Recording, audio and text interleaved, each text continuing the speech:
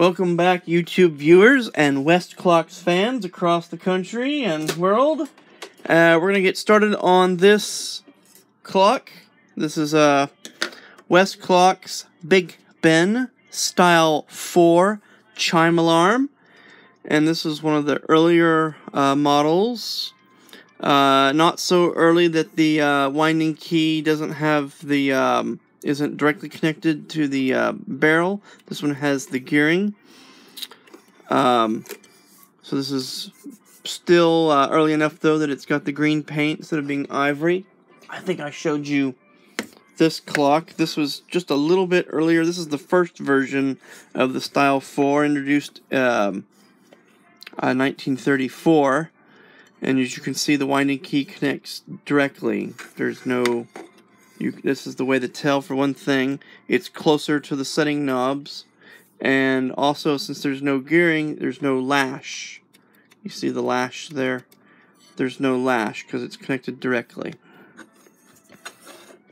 Anyway, I originally said I was going to do both of these simultaneously. I don't think I'm going to do that now. I'm just going to do this this clock. They're both the same, so it really doesn't matter. I'll I might do a video of the um, when I get the movement out on this one, though, I'll do a video of it, maybe, if I can remember. Sometimes I'll just tear a, a clock apart and not video it. But I'm going to video this one. Anyway, the first thing to do is the uncase the um, movement. And we'll start with um, the case. These screws you do not have to remove. You just back them out Eh, about a turn and a half is what I like to do maybe. If I need to if I need to back it off a little bit more I will.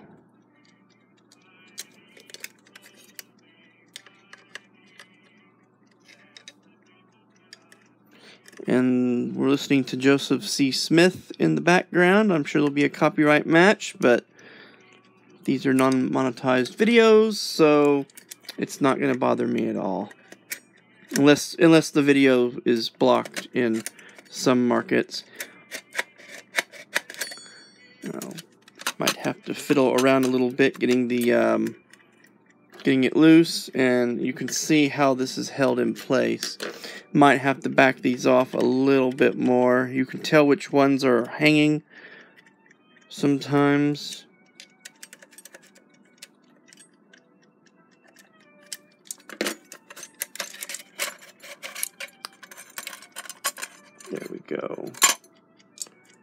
Unfortunately, sometimes the dial glass wants to hang up a little too. Just watch that it doesn't scratch the dial up. This has got a really, really nice looking dial on it. And this clock wasn't running. It's running now. That's kind of crazy. At this point, the clock is very easy to handle, so let's take the hands off. And this has got a real nice dial on it. I don't want to mess the dial up.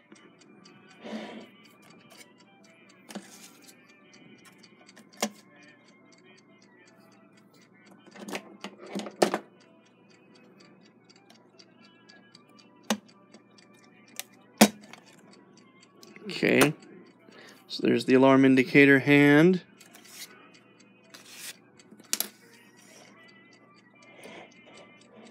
Now I've been thinking about this, about ways to get the um, second, the minute hand off.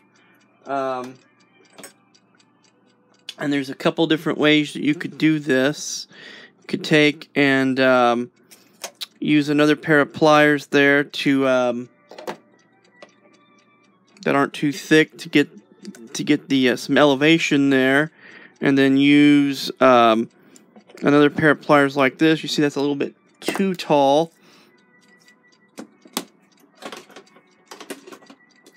We don't just want to lever the hand off against the um, hour hand because uh, I don't want to damage the hour pipe, hour hand pipe because it's just uh, made out of babbitt metal. The hour hand pipe is made out of babbitt metal. I'm looking for a pair of pliers that are thin. Uh, these are magnetic.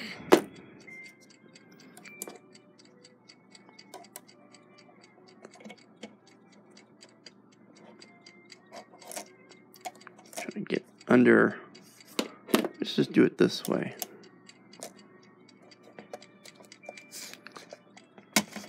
There we go.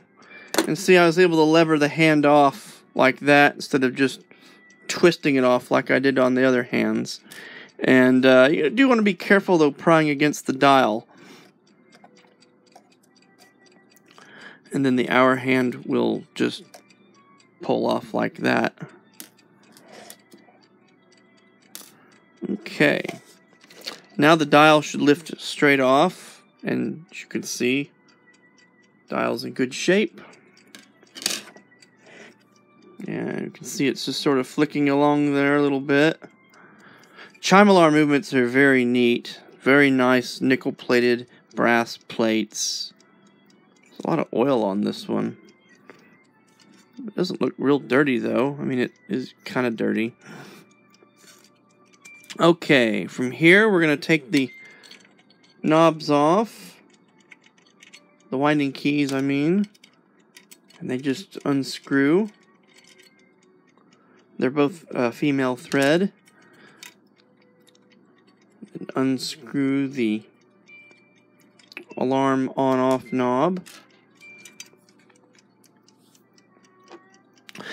Now at this point we want to separate the uh, rear case from the front case. There's some small screws here. There's three screws.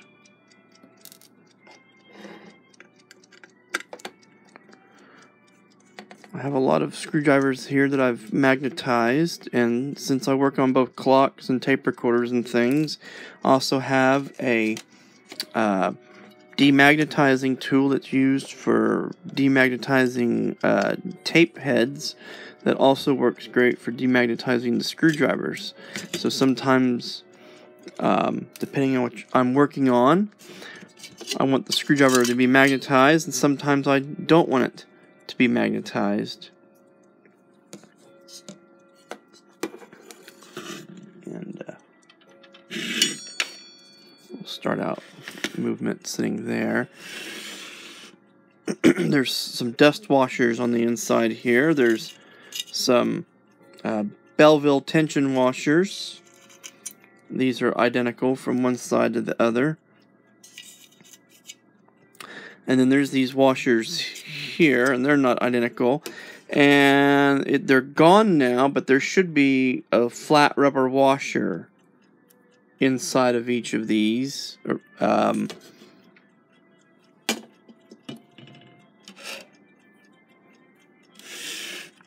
here's the remains of the flat rubber washer on this one.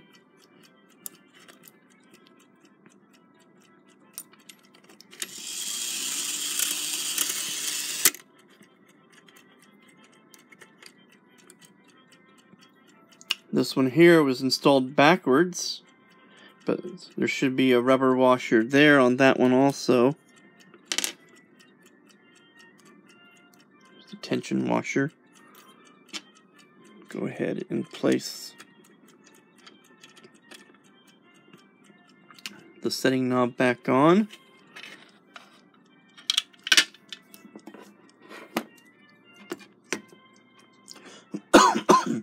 And I'm going to set the dial glass and dial and hands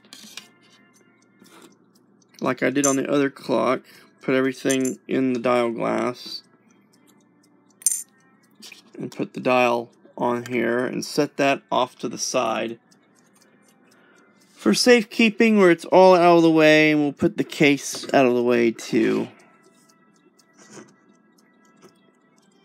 And now we want to remove the movement from the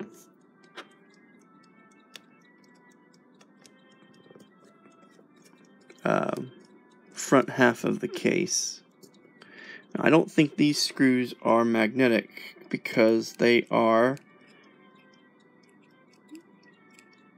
the washer I think is magnetic because it's steel but these screws are nickel plated brass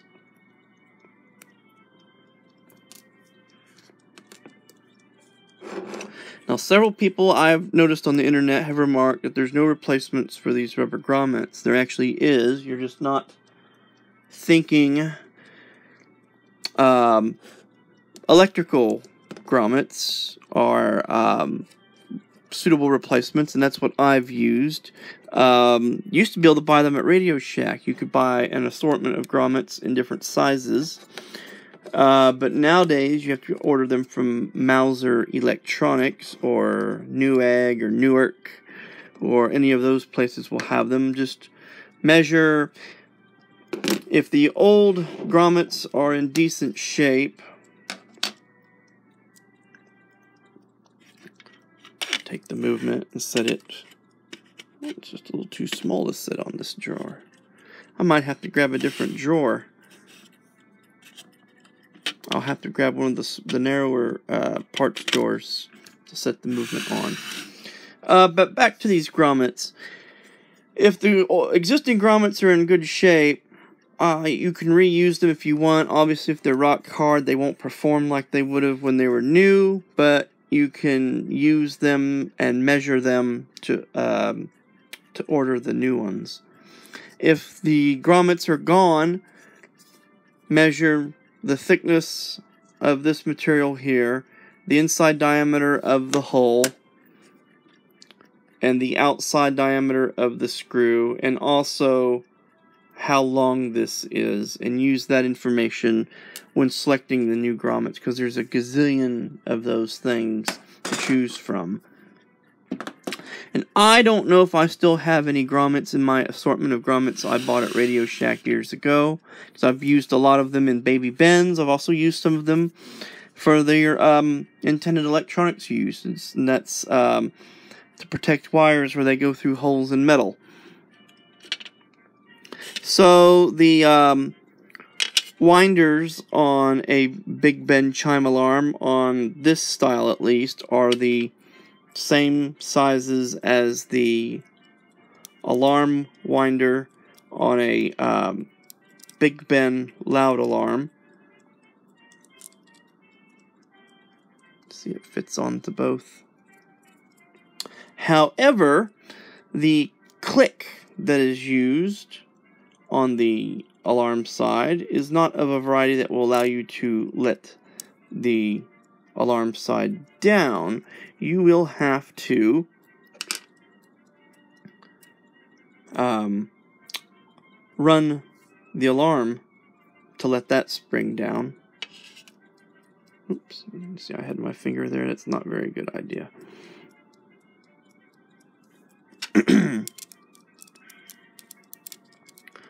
the first thing we're going to do is um, let the uh, time side down. I can do that pretty easily here with my homemade uh, key adapter. I made this from an old winding key. It's one of the few specialty items you'll see me use.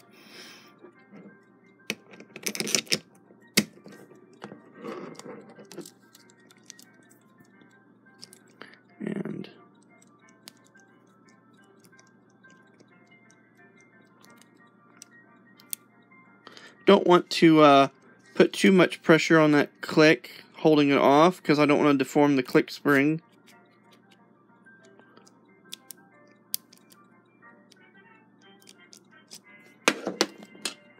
And then check here to see if it's let down or not. And I see the date stamp is January 23rd, 1935.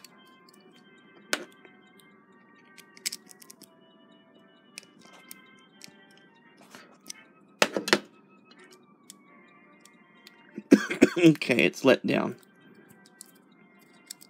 So unscrew the let down adapter. And using a screwdriver here, we will go ahead and remove the screws.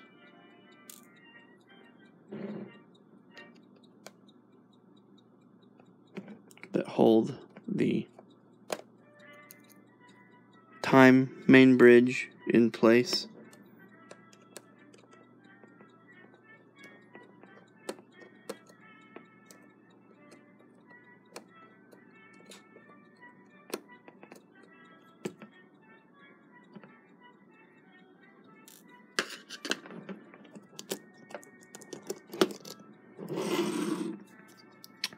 And here is the great wheel.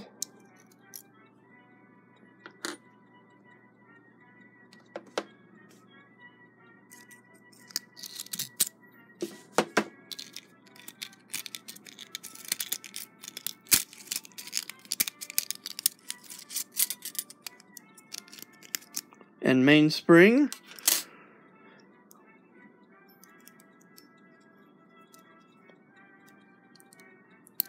Nice and tight. Everything feels in good shape on this. That's good. Um, this barrel is the exact same size as the time side mainspring barrel on a two key baby Ben, but according to the Westclox information that I have, the mainsprings are not the same.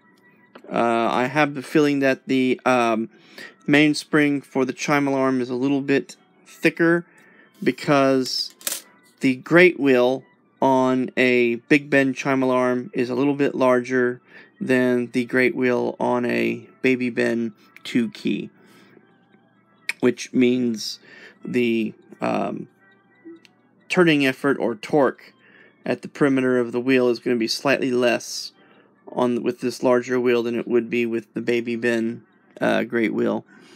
Also, coincidentally, gives you slightly longer running time uh, because the rest of the gearing is the same. And I'll point out the differences as we go along. Okay. Piece of rubber. Alright, let's at this point, let's remove the um, um, balance wheel.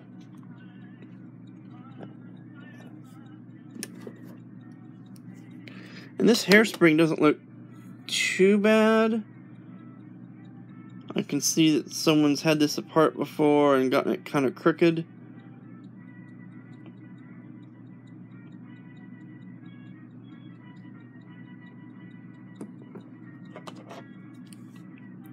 This just uses a conventional taper pin to hold it in place. And one of the secrets to working on these that you, I might not have talked much in doing the other video to not bending the hairsprings is really to try to avoid really handling them. I don't pull on them or tug on them and everything. I just sort of tease them and sort of manipulate them. Um, I don't want to um, to really risk damaging them in any way. And you see that that one popped out of the slot in the uh, regulator and out of the stud just by backing the balance wheel off in that direction. And then so I move that either there or there, wherever it's out of the way the most.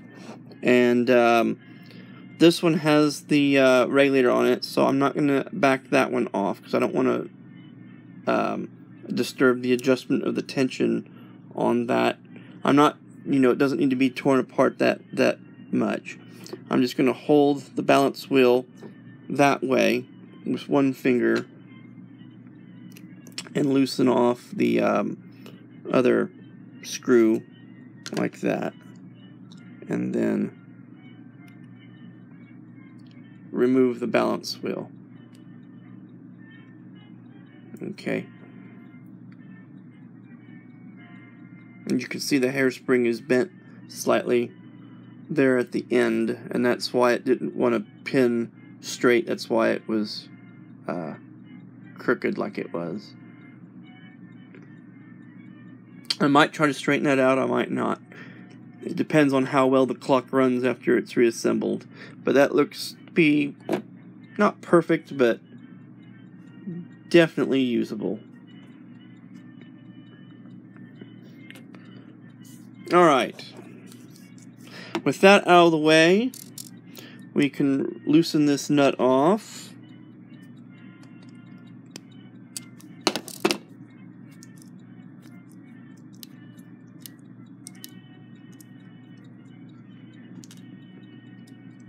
And remove the Geneva stop.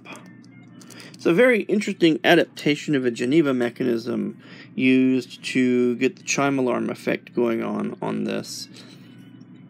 There's a um, the um, arbor that the hammer is attached to is spring-loaded. And um, this would be the lifting. So this is sort of adapted from the mechanism of a striking clock. This is the lifting cams. And in the chime mode, it's pushed forward so that it's only being lifted by these three here. And in um, the loud alarm part, the spring pushes it back to where it's lifted by every turn.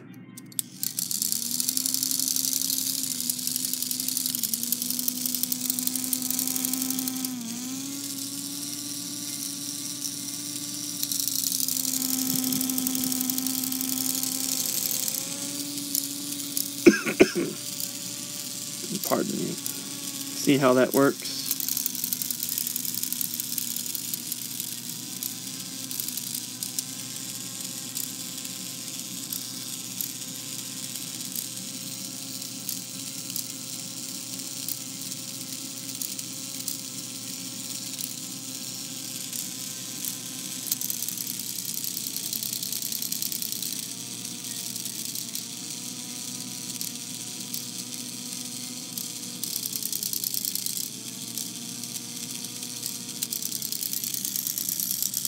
Anyway, if the uh, pin was still on there, as it unwinds, it will advance this a step at a time, going around until it finally jams over here and stops it. This is a sort of an adapt an adaptation of a stop work.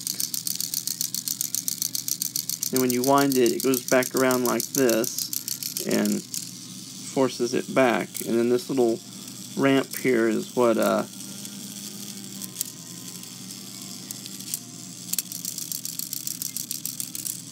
As you can see, the spring is winding down.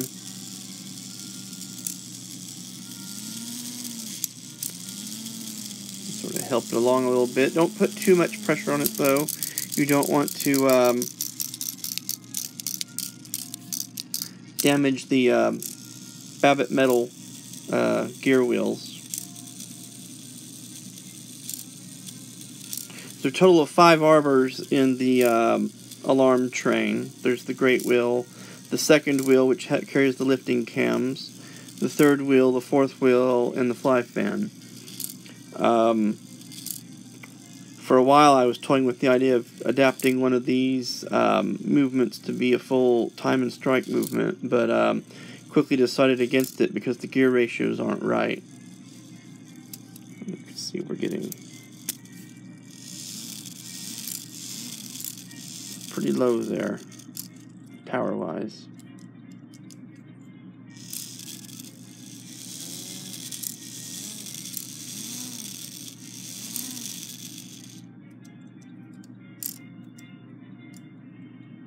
Alright, see there's no power left there anymore. So now we can take this apart.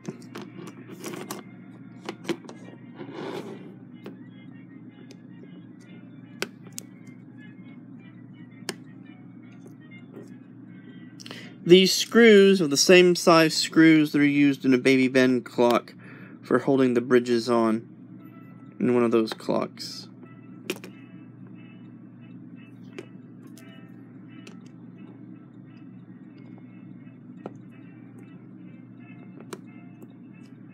And as if to prove that this is a um, a Big Ben movement, there's a pillar nut that has to be removed before that bridge can be taken off.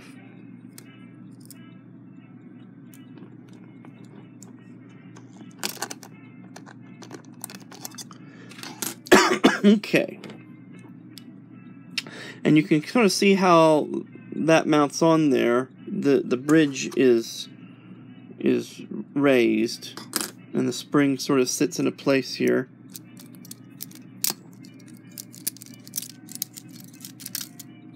Okay. Comes out like this, and you can see the peculiar arrangement of the clicks. There would be no way to raise all three clicks at once to let it down in the conventional manner.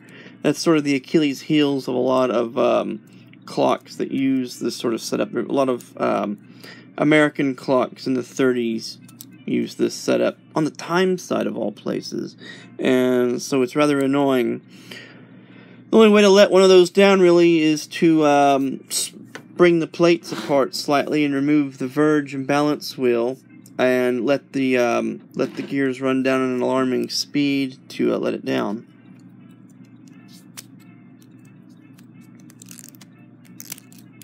Okay. There is the uh, great wheel for the alarm side and the loop end mainspring for the alarm side. Okay. Trying to do this all in one take, disassembling the movement here. Next step is to disassemble the uh, alarm trip mechanism. Take that off. See, that wasn't very tight. It was just sort of finger tight. And you'll notice this is the same style of nut that was used for the nut that hold the stopworks um, on. It's rounded with a small hex at one end. And then the rest is just conventional um, Big Ben style setup. There's a, a washer with a double D shaped hole.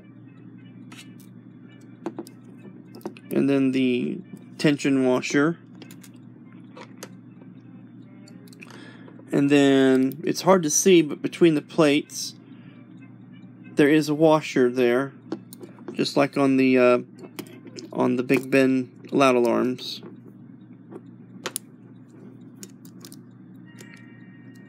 And it's probably going to want to hang up a little bit.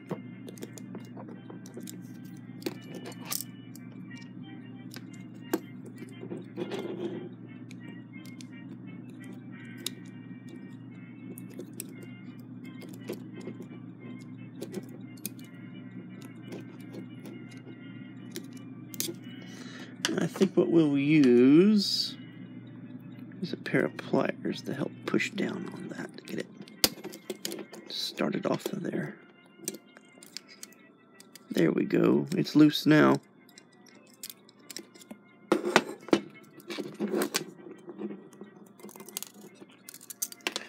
And remember, this washer, the large washer with the double D hole, goes on the inside of the movement plates. And then there's the alarm wheel with the cam and the trip staff.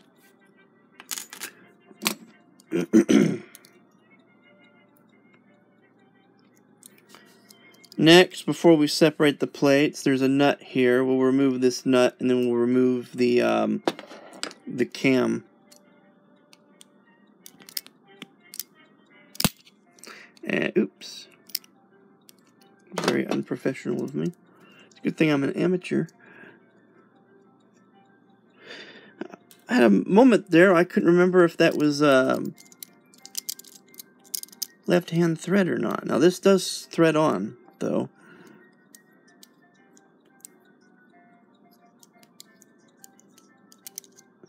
Okay.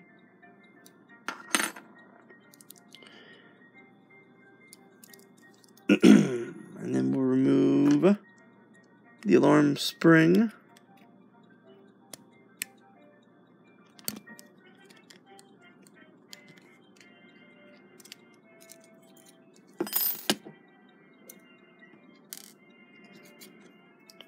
The alarm spring.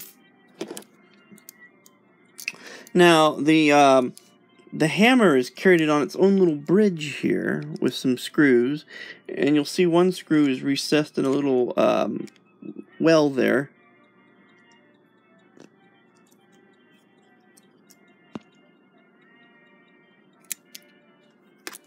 Very nice, very small blued screws. I think these screws are the same size screws that are used in the pocket watches for holding the uh, pillars to the plates.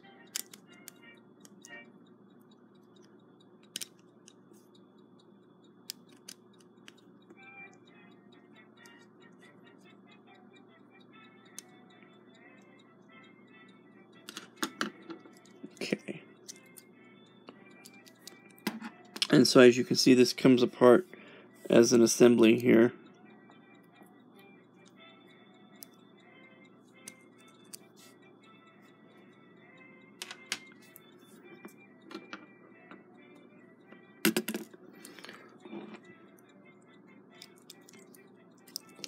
Okay, it looks like the other thing that's left to do is remove the knob.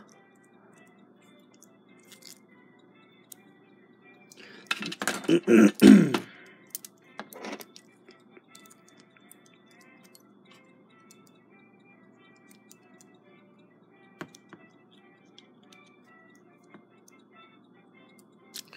have to try to lever this off.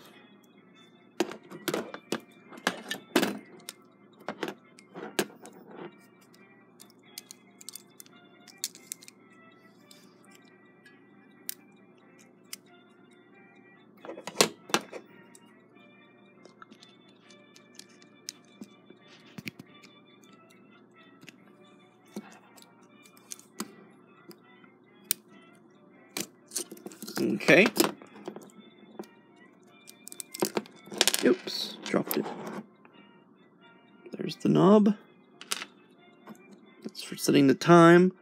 And here you can see the remains of one of the uh, rubber washers that's on these metal washers for excluding dust from the movement case. I'm very impressed with the lengths that Westclox went to for dust proofing these cases. Um, I really got a, a attention to detail is astounding on these older clocks. It really is. You can see the old rubber there. And that's something I might try. Don't know if I'll have parts ordered quickly enough to um, to be done as part of this restoration rebuild project. It's not really a restoration to buy new um, rubber washers, but the place to order them from is McMaster Car. Um, that's where I would try to purchase those from. All right. Now we have these rather uh, almost comically large um, pillar nuts here to loosen up.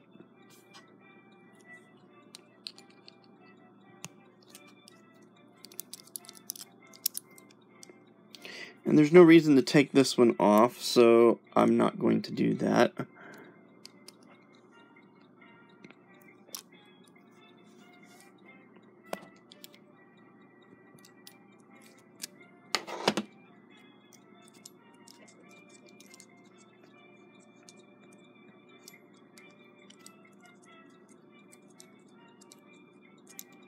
And I like that um, Westclox on these larger movements used five pillars with an extra pillar in the um, escapement area there to help uh, reinforce that and make it more substantial.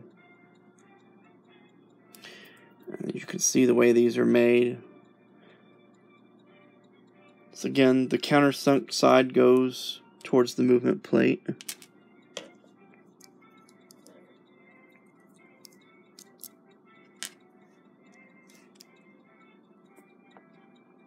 Right.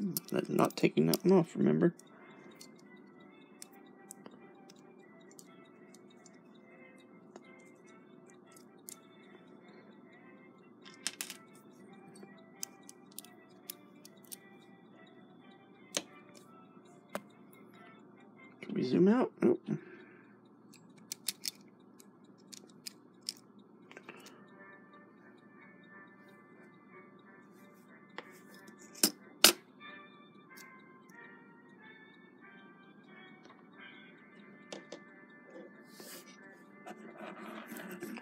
And you can see what parts stayed with what plates here pretty easily. We have the lever. This is the same lever that's used in a baby Ben. The escape wheel. This is the same escape wheel that's used in the, a baby Ben.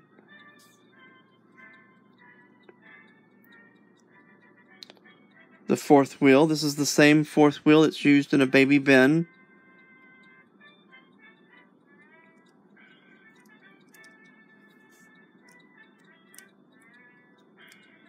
This is the same third wheel that's used in a baby Ben.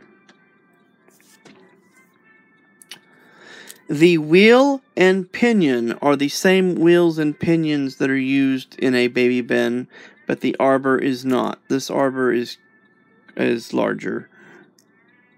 There's the alarm second wheel with the threaded drive for the um, uh, cam.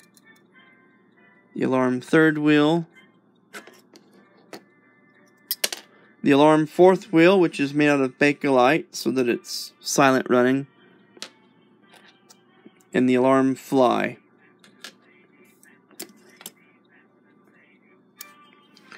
And this is the alarm on-off uh, staff. So there's the back plate stripped of all its components. Here's the front plate. Now what I need to do is to remove the shuck pinion. And we could go ahead and remove the hour wheel and, and tube uh, at this point if I wanted to by this little uh, brass wire here that's bent into an S, of straightening it out. It'll probably break. Then remove the washer. Then the hour wheel and pipe will come off. And then the minute wheel and pinion um, can be lifted off also. And then I can drive the shuck pinion off without fear of damaging the Babbitt metal hour tube. So I'm going to do that now at this time.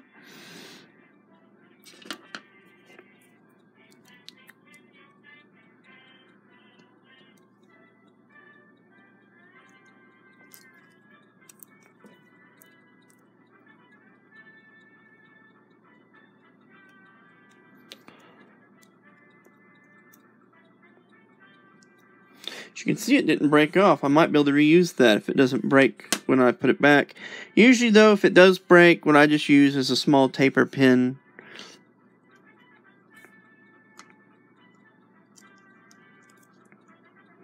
Minute wheel and pinion.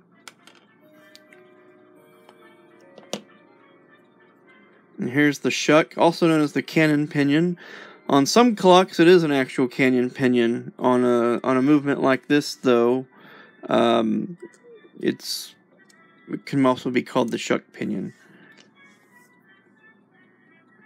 You can see this arbor is is substantially larger than it would be in a baby Ben clock.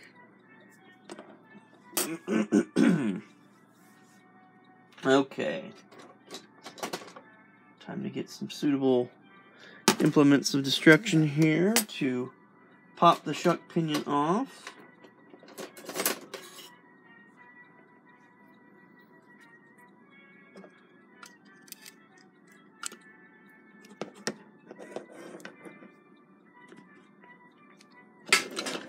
Move some things around just a little bit.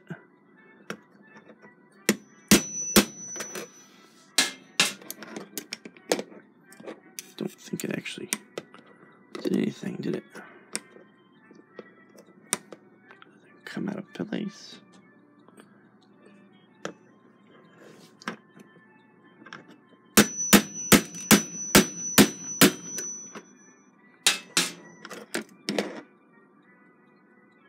Started it.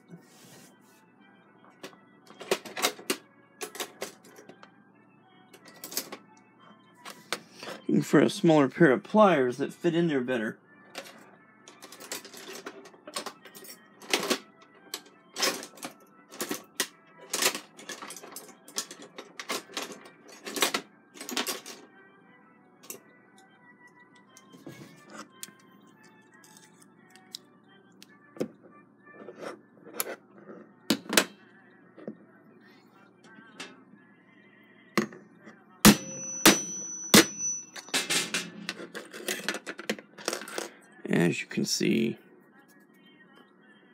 That's one drawback of using this method is if you're not careful, you will scar it.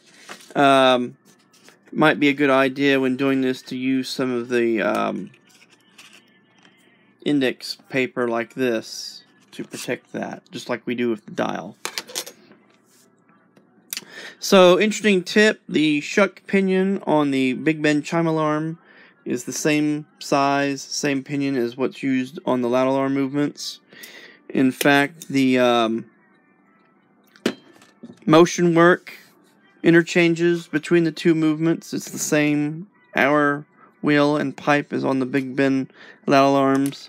Same minute wheel and pinion as on the Big Ben loud alarms. The hands are the same. Uh, that's why this is larger, so that it, you know, Big Ben size parts. This on this end, though, I think is Baby Ben size. And like I said, same wheel, same pinion as what's on the Baby Ben center arbor, just on a larger arbor. Anyway, that's the disassembly of the movement. These parts are going to get cleaned, and um, when they are cleaned, we will reassemble the movement. So this is Oklahoma Bridges with a load of uh, parts now. And thank you for following along, and thank you for watching.